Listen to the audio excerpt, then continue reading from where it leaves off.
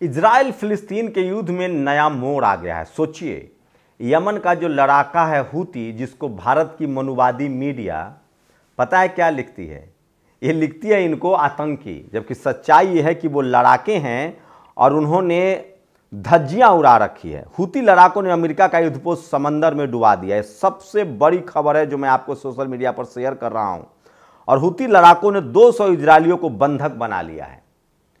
ये दो बड़ी खबर है इस समय जो सोशल मीडिया पर मैं आपको शेयर कर रहा हूँ। सोचिए, भूमध्य सागर और लाल सागर, जो यमन का इलाका है, यूरोप से जितने जहाज़, अमेरिका, यूरोप से जितने जहाज़ एशिया में आएँगे इसराइल में आएँगे, वो भूमध्य सागर से स्वेज नहर के बाद लाल सागर में एंट्री लेते हैं।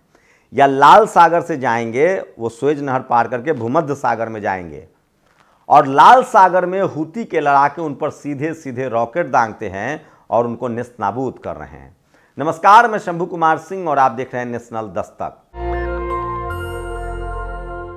इज़राइल एक कोस्टल देश है, समुद्री से घिरा हुआ देश है और उसका मुख्य कारोबार है तेल का और सारे एक्सपोर्ट इंपोर्ट जो उसके होते हैं वो समुंदर के रास्ते से होते हैं। उसे पता ही नहीं था कि इसराइल और फिलिस्तीन युद्ध का साइड इफ़ेक्ट क्या होगा। इसराइल को अब तक लगता था कि 75 साल से जिस तरह से वो जब चाहे इसराइल पर बमबारी करता था। इसराइल इसराइलियों को इसराइल माफ़ कीजिएगा इसराइल को लगता था जब चाहे फिलिस्तीन पर बमबारी करता था, फिलिस्तीनियों को मारता था, बंधक बना लेता था। और कोई कुछ नहीं बोलता था। दरअसल फिलिस्तीन के पास अपनी सेना नहीं है। फिलिस्तीन के पास अब कोई एयरपोर्ट भी नहीं रहा। राफा में एक एयरपोर्ट था जिसको इसने बमबारी में बर्बाद कर दिया। नेल्सन मंडेला तब फिलिस्तीन के राष्ट्रपति, उस समय के राष्ट्रपति यासार अरफात से मिले थे। तो सोचिए, पूरी दुनिया में मनुवादी मीडिया जैसे भारत में काम करता है, वैसे ही वहाँ के यहूदी मीडिया ने, गोरों की मीडिया ने फिलिस्तीन को बदनाम कर रखा था। और पूरी दुनिया फिलिस्तीन को आतंकवादी समझता था हमास को आतंकी समझता था और कोई मदद नहीं करता था। लेकिन सोशल मीडिया ने पूरा खेल पलट दिया। इस बार इसराइल बड़ी इजराइल को लगता था कि वही फिलिस्तीन है, वही हमास है। इस बार हमास ने तैयारी कर रखी है। लगभग, सोचिए, लगभग सात से आठ हज़ार सुरंग सिर्फ़ गजा पट्टी में है। इतने ही सुरंग वेस्ट बैंक में है। हमास को पता था कि वो जो करने जा रहा है, उसके बाद इसराइल बमबारी करेगा। इसराइल ने वही किया। निर्दोष पच्चीस हज़ार फिलिस्तीनियों को मौत के घाट उतार दिया और गजा पट्टी को पूरी तरह से मलबे में तब्दील कर दिया।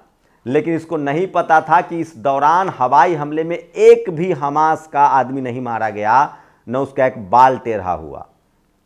सोचिए, चार, सात अक्टूबर को रॉकेट हमले में हमास ने और फिलिस्तीनियों ने हज़ारों इजरायलियों को बंधक बना लिया। उसके बाद इजराइल ने हमला किया। उस हमले में अब तक एक भी फिलिस्तीनी हमास से या फिलिस्तीन में जो फंसे हुए हैं इजराइल, उसको नहीं छुड़ा पाया है। ये है इजराइल की ताकत का अंदाज़ा।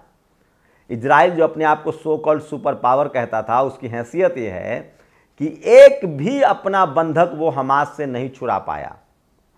उसने भले पच्चीस हज़ार निर्दोष फिलिस्तीनियों को मारा, उसने भले वहाँ मलबे में तब्दील कर दिया, लेकिन एक बंधक नहीं छुड़ा पाया। दरअसल आपको, आप कहेंगे कि जब हमास ने भी बंधक बनाया आम इसराइलियों को तो कौन सी बहादुरी है? ये उसको सबक सिखाना था कि एक निर्दोष की जीवन की क्या कीमत होती है। दरअसल इसराइल हर साल लगभग सैकड़ों फिलिस्तीनियों को बंधक बना लेता था, उनको जेल में डाल देता था, यातनाएँ देता था और कब्जा करता जा रहा था। यही सबक सिखाने के लिए फिलिस्तीन और हमास ने कार्रवाई की और उसके बाद जैसे ही इसराइल ने हमला किया उसकी कारस्तानी दुनिया को पता चलने लगी। पता चला कि वो हमास से तो लड़ ही नहीं रहा है। वो तो आम फिलिस्तीनियों को मार रहा है, स्कूल उड़ा रहा है, अस्पताल उड़ा रहा है, बच्चों को मार रहा है, महिलाओं को मार रहा है, बुज़ुर्गों को मार रहा है। और ये सब कुछ दुनिया को पता चला अल जजीरा की वजह से और सोशल मीडिया की वजह से, एक्स की वजह से, फेसबुक की वजह से और यूट्यूब की वजह से। बाद में एक्स को कंट्रोल किया जाने लगा क्योंकि खुद जो ये एक्स का जो अब नया मालिक है, वो खुद यहूदी है। लेकिन आप कब तक रोकेंगे? आज दुनिया भर में तमाम तरह के सोशल मीडिया प्लेटफॉर्म्स हैं और उस पर दुनिया को पता चल गया और इसी का नतीजा है कि पहले 122 देशों ने 142 देशों ने, फिर एक सौ तिरपन देशों ने इसराइल के खिलाफ वोटिंग की यूनाइटेड नेशन में। और सबसे बड़ी बात हुई कि इस बार दुनिया में चुप रहने वाले खाड़ी देश एकजुट हो गए हैं और इसी कड़ी में यमन ने समुंदर में मोर्चा संभाल लिया।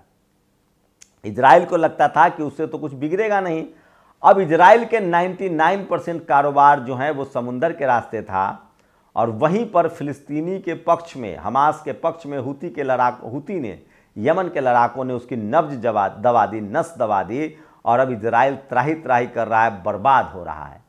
इतना ही नहीं, ईरान, सीरिया, तुर्की तमाम खाड़ी देश एक साथ आ गए और उन्होंने अमेरिका को चेतावनी दी कि या तो खाड़ी देशों से अपने सैनिक अड्डा समेटो या फिर हमले के लिए तैयार रहो। अमेरिका ने भी उस तरह से मदद करना बंद कर दिया जिस तरह से उसको मदद की उम्मीद थी इसराइल को।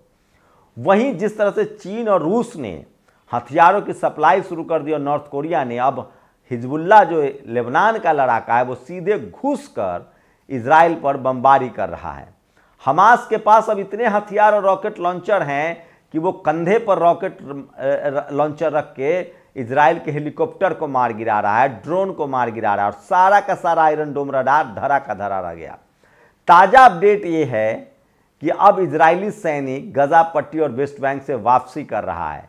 अभी भी इसराइल हारी बिल्ली खंभा नोच, एक ही काम कर रहा है। वो सिर्फ़ निर्दोष फिलिस्तीनियों को मार रहा है, लेकिन सोचिए, हमास हुथी और हिजबुल्ला के लड़ाकों ने अब तक जहाँ इसराइल ने पच्चीस हज़ार निर्दोष फिलिस्तीनियों को मारा है फिलिस्तीन को मलबे में तब्दील किया, वहीं दस हज़ार से ज़्यादा सैनिक को हमास ने मारा है, घात लगाकर।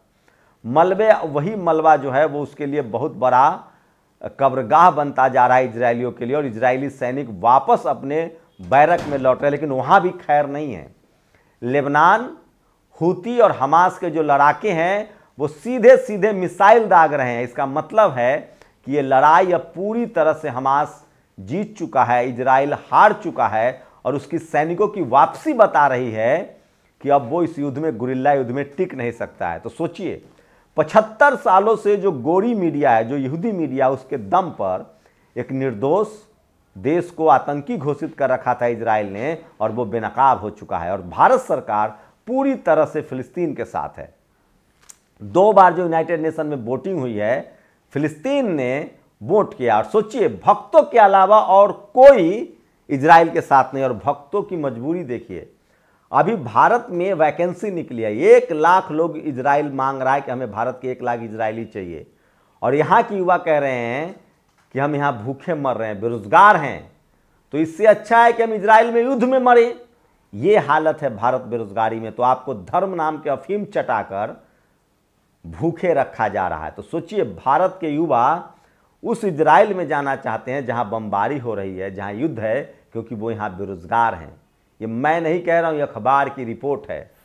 तो मुझे तो स्पेशल गुजारिश है भक्तों से कि वो जाएँ इसराइल और इसराइल को बचाएँ। वहीं दक्षिण अफ्रीका, मैं फिर बार बार आपको कोट कर रहा हूँ, एक बार नेल्सन मंडेला और यसार अराफात एक साथ बैठे थे। भारत के जो मनुवादी मीडिया है, जातिवादी मीडिया, उसी तरह के उस समय के गोरे मीडिया ने कहा था कि आप नेल्सन मंडेला हैं, आप यासार अराफात के साथ बैठे हुए तो आतंकी देश के सरगना हैं।